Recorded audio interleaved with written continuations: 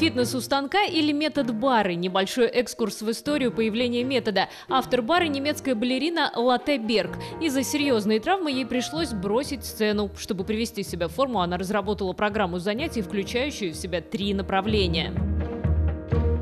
Бары – это такой многоградный вид фитнеса. Здесь сочетаются три направления. Это балетный функционал, это пилатес и йога. Здесь сочетается статический и динамический вид нагрузки. Мы прорабатываем все мышцы до самых глубоких их слоев, тех самых, которые поддерживают наши суставы. Для того, чтобы начать заниматься, нужно только желание. Тренер Анна Фомина когда-то занималась гимнастикой. С методом бара познакомилась как раз после спортивной травмы. Она рассказывает, этот вид фитнеса идеально подходит для реабилитации. Но упражнения легко адаптировать для силовой и функциональной тренировки. Главный секрет здесь – правильная осанка. Вдох и начинаем опускаться, разводя бедра. Пуанты и балетные пачки для тренировок по методу бара не понадобятся. Зато придется вспомнить словарь балетных терминов. Пассе, жате мы вводим вперед, флекс, поинт, пассе, вернули.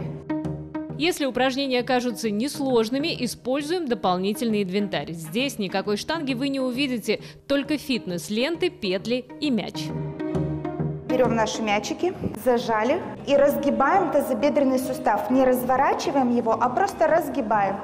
И затем сгибаем ногу в коленях. Статичные движения или элементы с низкой амплитудой отлично сушат мышцы, а также действительно их вытягивают. Станок – обязательный инвентарь на тренировках по методу бары, но не все упражнения выполняются у станка. Петли TRX используют в упражнениях на растяжку и баланс. Слегка придерживаем себя, и мы раскрываем бедро, отводим ножку, но не отводим таз, только ножку. На первых тренировках нагрузку можно адаптировать к возможностям вашего тела, а со временем усложнять элементы. Если высоко нога не поднимается, мы опускаем петли ниже, а со временем поднимаемся выше и выше.